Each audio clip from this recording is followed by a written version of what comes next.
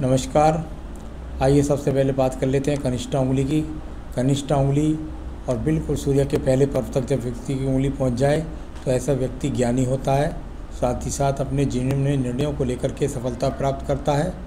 उसमें सभी प्रकार की भाषा शैली के गुण विधा विद्यमान होते हैं और अच्छी यारदाश्त बुढ़ापे तक रहती है। तो यहाँ बहुत अच्छे इंडिकेशंस आपकी इस कनिष्ठा उंगली में मिले। आइए मैं सूर्य की उंगली की बात कर लेता हूँ। सूर्य की उंगली, यश और सम्मान की उंगली, लेकिन यहाँ पर सेकंड पर पर कुछ कट मौजूद हैं। यानी जब इस प्रकार के कट मौजूद हों तो व्यक्ति में कुछ अपने आप में घमंड होता है। लेकिन ये घमंड, ये जो क्रोध है, ये ये सब चीज़ें जो अहंकार हैं, ये आपके लिए अगर सेकंड पर पर और ज़्यादा मज़बूत रहते हैं तो निश्चित रूप से समझ लिए जैसे आप 50 की एज में जाएँगे, आपको उस समय बीपी जैसे बीमारी के रोग बुरी तरीके से परेशान करने लगेंगे अब बात करते हैं यहाँ पर दूसरी उंगली की, इसको बोलते हैं शनि की उंगली। इससे सूर्य की उंगली बिल्कुल चुपकी हुई है, यानी व्यक्ति अपने परिवार को तो साथ लेकर के चलता है माता पिता को प्रेम करता है, उनका सहयोग भी करता है भाई बहनों का भी सहयोग करता है। अब बात करूँगा आपकी बृहस्पति की उंगली बृहस्पति की उंगली, ज्ञान की उंगली, और बहुत ही ज़्यादा अनुकूलता के साथ में खड़ी हुई है, परंतु सेकंड पर पर यहाँ पर कुछ हल्के हल्के कट के जब निशान मौजूद होते हैं तो पत्नी के साथ अच्छे संबंध व्यक्ति के नहीं होते हैं। पूजा पाठ की बात करें तो पूजा पाठ तो व्यक्ति करता है और दान पुण्य में भी भाग पढ़ चढ़ कर भाग लेता है। अब बात करूँगा यहाँ पर बुद्ध पर्व की। बुद्ध का पर्व, जहाँ पर माना जाता है संतान का पर्व। जब तीन से चार रेखाएँ व्यक्ति के हाथ के अंदर होती हैं तो ऐसे व्यक्ति के पास धन के आगमन निरंतर रूप से बने रहते हैं। तो कुल मिलाकर धन पर्व पर खड़ी हुई रेखाएँ निश्चित रूप से अच्छे ज्ञान के लिए मानी जाती हैं। साथ ही साथ में व्यक्ति को संतान का सुख सहयोग भी प्राप्त होता है और धन के आगमन में निश्चित रूप से बने रहते हैं। अब बात करूँगा मैं यहाँ पर आपकी सूर्य रेखा की, सूर्य की रेखा और यहाँ पर सूर्य पर्वत पर खड़ी हुई सूर्य रेखा इस बात को दर्शाती हैं कि व्यक्ति के अंदर दूर स्थानों से जुड़ करके भी वो लाभ कमाएगा। कुछ ये काटने वाली जब रेखाएँ होती हैं तो थोड़ा सा व्यक्ति को स्वयं पर घमंड नहीं करना चाहिए। ख़ास तौर से जब आप प्रॉपर्टी की चीज़ों की बात कर रहे हों तो प्रॉपर्टी के सौदे अच्छी प्रकार से करने चाहिए, जिसमें किसी प्रकार के विवाद का आपको सामना ना करना पड़े। तो थोड़ा ऐसा भी समझ सकते हैं, जब रेखा यहाँ काटती हैं तो ये क्रोध और घमंड को तो दर्शाती ही है। अब बात करूँगा यहाँ में आपके धन के पर्व की। धन का पर्व और बहुत ही अनुकूल रेखाओं से खड़ा है। यानी कुल मिलाकर आपके जीवन में करोड़ों करोड़ों रुपए के आप मालिक बनेंगे। पचपन वर्ष के बाद आज भी स्थिति अच्छी है, लेकिन पचपन वर्ष के बाद और अनुकूलता से ये स्थिति यहाँ पर बनी हुई है। तो ये अपने आप में यहाँ इस प्रकार के इंडिकेशन हल्की हल्की जो रेखाएँ ये आ रही हैं, ये बड़े बड़े लोगों से संपर्क बना करके संबंध बनाने वाली रेखाएँ हैं। या धन धन धन दिमाग में बुद्ध पर्वत से निकल रही हैं, यानी दिमाग के अंदर धन का फितूर ज़्यादा सवार रहता है। आइए बात करूँगा बृहस्पति के पर्व की। बृहस्पति पर्व पर यहाँ पर ये मानवता की रेखाएँ, यानी कि योजनाओं के द्वारा धन प्राप्त करना और खड़ी हुई रेखाएँ, यानी आपके जीवन में कई कई संपत्तियों के योग यहाँ पर दर्शाने वाली ये रेखाएँ। कई कई जीवन में गाड़ियाँ बदल देंगे आप, ऐसी रेखाएँ यहाँ पर मौजूद हैं।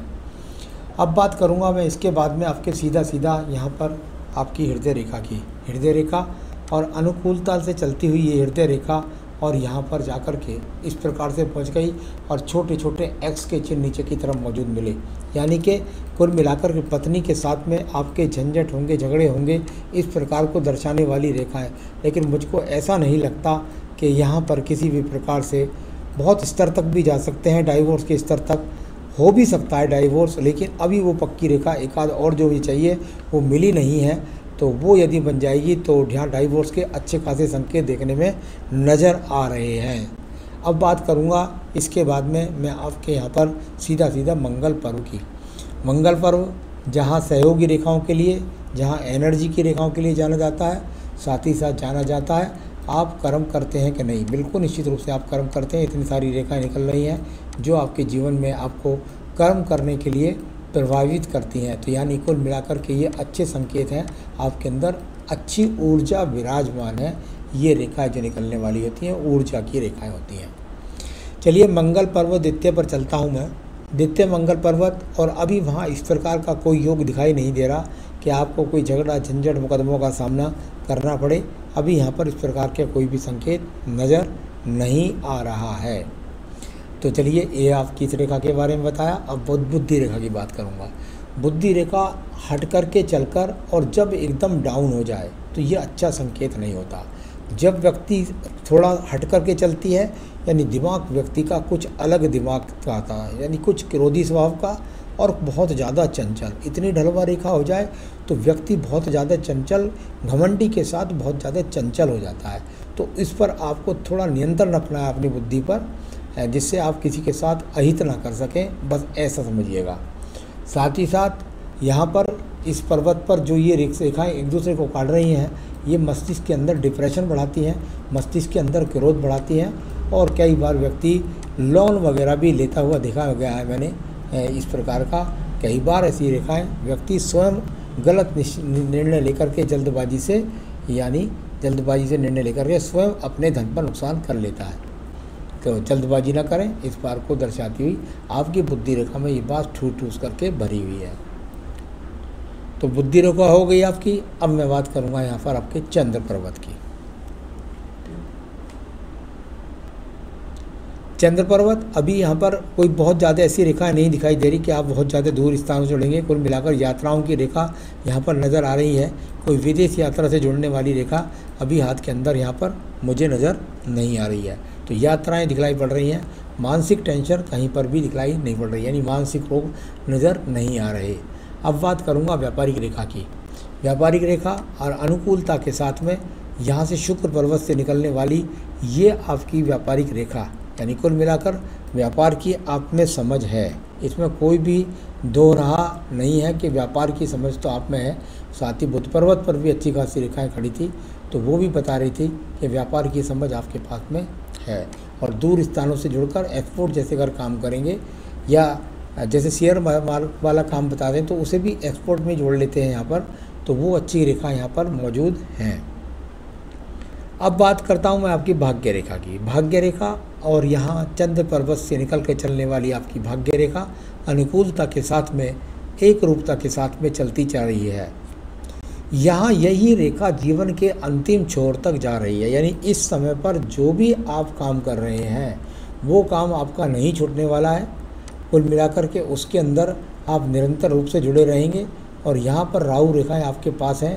यानी कि बीच बीच में आपको अचानक धन मिलने के योग भी बनते हुए नज़र आते हैं। तो चलिए, ये मैंने आपको बताया यहाँ पर। अगर कोई छोटा मोटा परिवर्तन हुआ तो हो सकता है पैंतीसवें वर्ष में हो। हो सकता है स्थान परिवर्तन हो या ट्रांसफ़र हो, या यहाँ से आप कोई ज़िंदगी का एक बड़ा निर्णय लेकर पैंतीस में है कुछ ना कुछ परिवर्तन ज़रूर। चलिए यह सब मैंने आपको बताया, अब मैं आपके सवाल देता हूँ। नंबर एक सवाल, जॉब और बिज़नेस। बिल्कुल निश्चित रूप से आप जॉब के साथ में बिल्कुल निश्चित रूप से आप बिज़नेस भी कर सकते हैं, साइड वाइज और उसकी यहाँ पर रेखाएँ भी हैं साइड वाइज की, और यहाँ पर भी एक रेखा नीचे से निकली है। तो यहाँ साइड वाइज सहयोगी रेखाएँ आपके पास हैं। तो आप, जैसे आप कह रहे थे शेयर मार्केट में तो बिल्कुल निश्चित रूप से शेयर मार्केट में आप काम कर सकते हैं। थोड़ा संभल कर कीजिए, वैसे आपको ज़्यादा नुकसान नहीं होगा। ऐसे संकेत आपके पास, बुद्ध पर्वत आपका बहुत ही अनुकूलता के साथ में है। यानी आपको समझ इस बात की है। मैरिड लाइफ के लिए बहुत, आपने कहा, बिल्कुल निश्चित मुझे मैरिड लाइफ बहुत ज़्यादा कष्टप्रदी लग रही है, लेकिन अभी मुझे वो चीज़ दिखलाई नहीं पड़ रही कि, के मुकदमे के बाद आपका डाइवोर्स हो जाए। हो सकता है, अभी तो वही रेखा है, यदि झगड़े झंझट हों तो चार आदमी बैठ करके सुझाव करके आपकी आपकी पत्नी के साथ आपको रख दें। तो उसमें स्वयं पर नियंत्रण करना होगा। एक्स्ट्रा अफेयर्स के लिए पूछा आपने तो शुक्र पर्वत से एक रेखा निकल कर के आ रही थी और केतु स्थान पर वो रेखाओं के संबंध यहाँ पर बन रहे हैं, जो इस प्रकार को बताते हैं कि एक्स्ट्रा एक्वर्स हैं। यहाँ क्रॉस का चिन्ह भी है और यहाँ पर दीप भी बना हुआ है, यानी कुल मिलाकर के एक्स्ट्रा अफेयर्स को दर्शाने वाली यहाँ पर रेखा है। फैमिली रिलेशन के लिए आपने पूछा था अपने आप अपने परिवार को बहुत अच्छी तरीके से प्रेम करते हैं, इसमें कोई भी शक नहीं है। अब बात करेंगे आपकी यहाँ पर प्रॉपर्टी की, बंगले की, गाड़ी की। जब आप बंगले की बात करते हैं, बिल्कुल यहाँ बंगले का योग मुझे कोई शुक्र पर्वत पर भी नज़र नहीं आया। हाँ मकान नज़र आता है कोटी नज़र आती है, लेकिन बंगला नज़र नहीं आता। संतान सुख की बात करी आपने। संतान सुख के लिए आपके पास संतान रेखा यहाँ से नहीं पता लग रही। अभी वैसे एक संतान तो मुझे निश्चित नज़र आ रही है। तो कुल मिलाकर के संतान रेखा के योग तो आपके पास सहयोग की भी रेखाएँ हैं। तो यहाँ संत, पत्नी के यहाँ से ज़्यादा पता चलेगा कि आपको कितनी संतान का योग है, उनकी जन्मपत्री से या उनके हाथ से। मंगल रेखाएँ अभी आपके हाथ के अंदर 40 वर्ष तक आपका सहयोग देंगी। हर क्षेत्र के अंदर मुकदमों में, झगड़ों में, झंझटों में सब चीज़ों से निकाल के ले जाएँगी आपको। तो ये रेखाएँ सब मैंने पढ़ी। अब मैं बात करूँगा आपकी सीधा सीधा आयु रेखा के बारे में। आयु रेखा अभी हाथ के अंदर लगभग लगभग चौहत्तर पिछहत्तर वर्ष की बनी है। आगे भी ये रेखाएँ बढ़ती रहती हैं। तो किसी प्रकार की टेंशन की कोई आवश्यकता नहीं है। आयु रेखा आगे भी बढ़ती रहती है तो अभी पचहत्तर चौहत्तर वर्ष की यहाँ पर आयु रेखा भी मौजूद है। हेल्थ इशूज़ के बारे में आपने पूछा। हेल्थ इशूज़ मैंने हृदय रेखा पर देखा, वहाँ भी कोई हेल्थ इशूज़ नहीं मिले। यहाँ मैंने आयु रेखा पर देखा, यहाँ भी कोई विशेष हेल्थ इश्यूज़ नहीं मिले। सामान्य रोग तो सबको चलते रहते हैं तो यहाँ पर कोई बड़ा हेल्थ इशूज़ कोई भी यहाँ पर मुझे नज़र नहीं आया। सबसे बड़ा क्या बीमारी है आपके पूरे हाथ में, ये मैं आपको बताने जा रहा हूँ। देखिए, आपको अपने अहंकार पर, आपको अपनी क्रोध पर, आपको अपनी अमीरियत पर, आपको अपनी काबिलियत पर, आपको अपनी वाणी पर नियंत्रण रखना होगा। वरना आपका वैवाहिक जीवन के सबसे ज़्यादा चांस खराब होने के हैं और उसके साथ साथ आपका जीवन में और विपदाएँ भी खड़ी हो जाएँगी। तो इसलिए कृपया करके हो सकता है आपकी धन हानि भी और नुकसान भी उसके बाद हो तो यहाँ बस उस पर नियंत्रण रखिए। उपाय में सबसे बढ़िया पूजा ये है आपकी। दूसरी, आपको एक बेहतरीन सा पोखराज इस उंगली के अंदर पहनना चाहिए। या इसके अंदर पहनना चाहिए। और आपकी पूजा बनती है हनुमान जी की। अब हनुमान जी की पूजा जब बनती है तो उसके लिए एक बात भी बहुत ज़रूरी भी है कि शनिवार, मंगलवार में नॉनवेज ना खाएँ। दूसरी बात, अहंकार को त्यागना के लिए हनुमान जी की पूजा आपको बहुत अच्छा काम करेगी, बल भी देगी, विद्या भी देगी और बुद्धि भी देगी। तो हनुमान जी की पूजा कर सकते हैं आप, उनका व्रत रख सकते हैं, प्रसाद बांट सकते हैं। नहीं भी करेंगे पूजा तो भी कोई ज़रूरत नहीं है। एक बेहतरीन सा पोखराज पहनिए इस उंगली के अंदर। आप जीवन में सुखी रहें, यही मेरी शुभकामनाएँ हैं। नमस्कार।